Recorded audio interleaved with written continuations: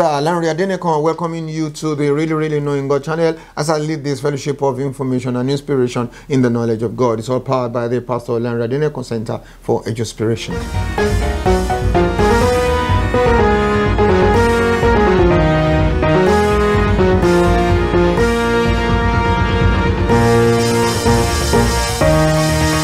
This is the Daily Gem Devotional, making you a gem to your generation, gemstone upon the crown of our Lord Jesus Christ. We're sharing truth this morning on looking good is godlike. Coming from Job chapter 38 to 40, chapter 38 through 40. We are praying right now, and after that, we jump into it together. Glorious God and King, we just bless you. You are the maker of heaven and earth. God, everything we know, the things we read of, the things we uh, study, and all those things, they were just made by you. And on account of that, we say we bow in the name of Jesus Christ. We spend a few minutes together with your people now. We ask, oh God, that you help us at that which we do in the name of Jesus. Thank you, Father God, for hearing us. In Jesus' name we pray. Amen and amen. Hallelujah. All right. So, there we go. Now, um, the Lord now answered Job, uh, you know, and, and began to talk. Now, from here, essentially what has happened was that God now began to address Job, but what he was doing, he was now using what I would call the wonders of creation and the mysteries of creation, okay, to let Job see that whatever you think you know, is small because you also already you know there are several things that you cannot explain. There are several things about uh, nature about the creation that you know that even you you cannot explain. So if you cannot explain those ones why are you bothering yourself trying to explain what you don't even understand the root of it or the basis of it or you know things like that? Amen. So that was essentially what happened after god began to speak to job. So we're going to just uh, you know get nuggets here and there from there learn something or the other by the grace of God as we've been doing and move forward. Amen. So the first one, the Lord answered Job out of the whirlwind and said, Now, um, this out of the whirlwind, each time I see it, I just wonder exactly how.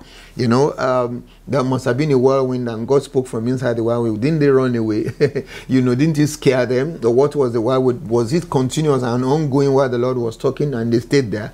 Or that it was a continual? It would come, it would stop, it would come, again. I don't even understand. But you see, that's what the Bible says. It says, out of the whirlwind, I just cannot picture exactly how they managed. you know, but from verse 2, it says, um, who is this who darkens counsel by words without knowledge? Ah, this is interesting.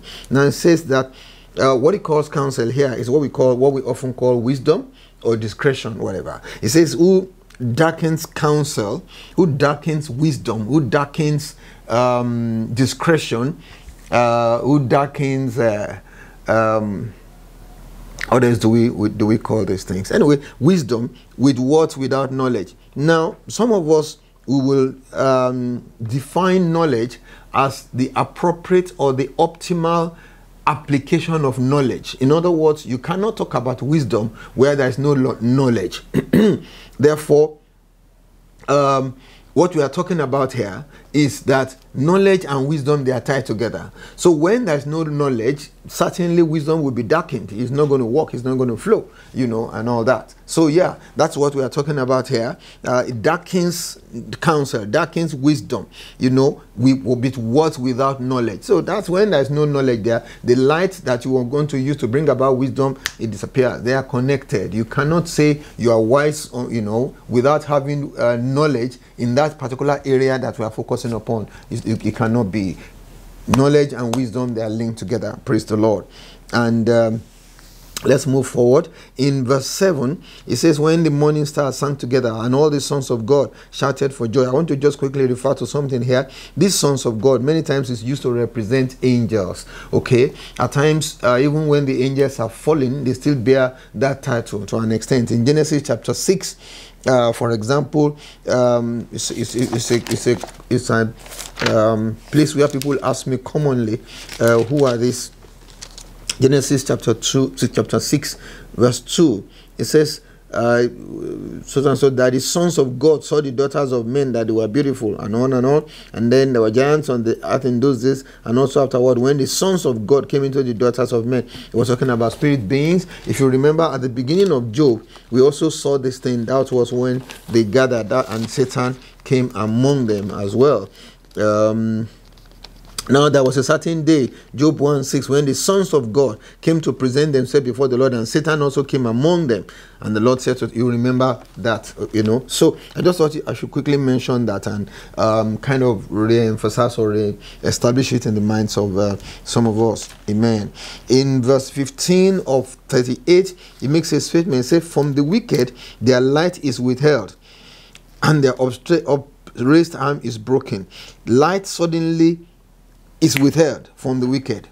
In other words, you can find the wicked operating and doing, you know, wicked things for a long time. Suddenly, it now begins to look like a fool at the end of the day. That when that's when that light is suddenly withdrawn from them. And so when you see people who are acting wickedly and doing things that amaze you and shock you, and say, how can a person be this bad? Remember, a day is coming when all that whole thing that he's been doing, suddenly things will so happen for him that will now look like, oh, you really? I can't believe that this can happen to you. Yeah, that's what happens. Their light suddenly gets withdrawn, you know, and then it ends up that way for them. Excuse me so much for for 38 we go to 39 now and that is taking us to um, verse 13 of i don't think um, it was just talking about like i said all the different you know amazing things of nature and creation and he was asking him do you know how this happened? Do you know how that happened? You don't know why so so and so you know and he just went on like that. That's um, a lot of them but are some of them we should talk about. So in 39 verse from verse 13 he said the wings of the ostrich have waved proudly, but our, our wings um, and opinions like the kindly stork's for she leaves her eggs on the ground and warms them in the dust. She forgets that a foot may crush them or that a wild beast may break them. She treats her young harshly as though they were not hers. Her labor is in vain without concern because God deprived her, deprived her of wisdom and did not endow her with understanding. But when she lifts herself on high, she scorns the horse and his rider. Let me try to break this down and use our own uh, uh, language for it. What he's saying is this that the ostrich is big and um, um, but when she when she lays her eggs, she doesn't uh, hide her eggs like some other birds will go and hide her eggs. She just you know digs a little, yeah, I don't know, maybe at 12 inches, you know, and then yes, and makes a box like 12 inches or thereabout, lays her eggs inside those, and to her, she has already kept her eggs with with that. Uh, you know, he would dig a little bit, like 12 inches, and put the egg. You won't cover it with anything, you know, or maybe very, very light sand, yeah.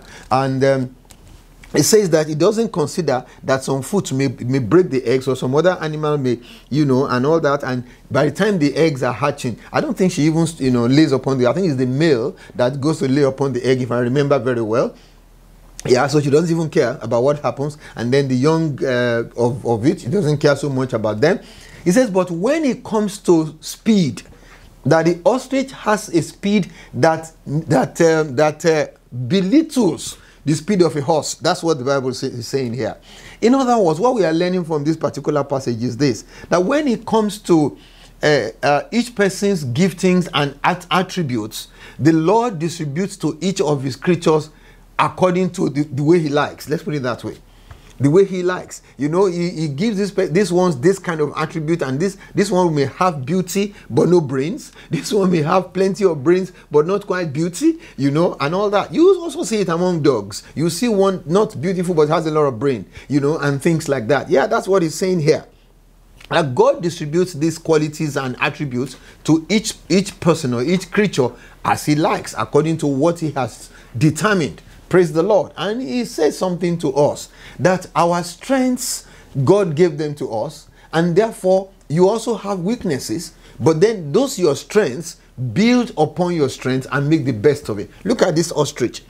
His strength is his long legs and the speed with which he can run with those long legs. Build upon those ones. Amen. You may not be somebody that has so much beauty, but you have plenty of brain. Build upon the brain. You may be somebody that doesn't have so much brain or have plenty of beauty. Build upon the beauty. Praise the Lord. And you know, that's so this this bird has no parenting instinct at all you know but when it begins to chase and i've seen um, situations where the ostrich was chasing something very very very very um, serious chase, you know, and he doesn't get tired. He will continue to chase, you know, and all that. Very interesting, but it's, it's a big lesson about God. Let's go to chapter 40 so that we can round up sometime very soon um, um, here.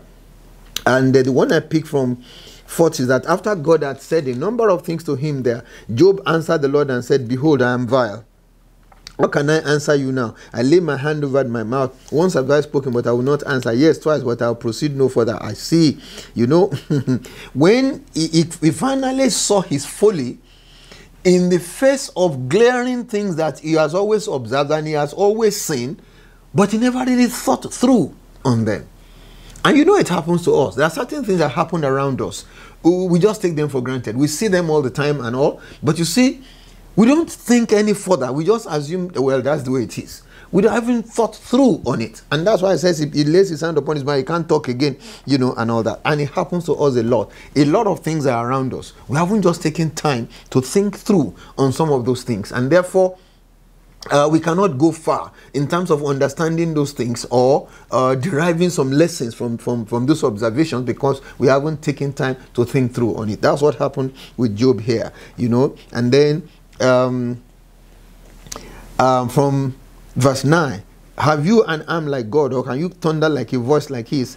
Then adorn yourself with majesty and splendor. Array yourself with glory and beauty. Disperse the rage of your wrath and look upon everyone who is proud to humble him and everyone who is proud to bring him low. You know, and on and on and on like that. You know what I found out?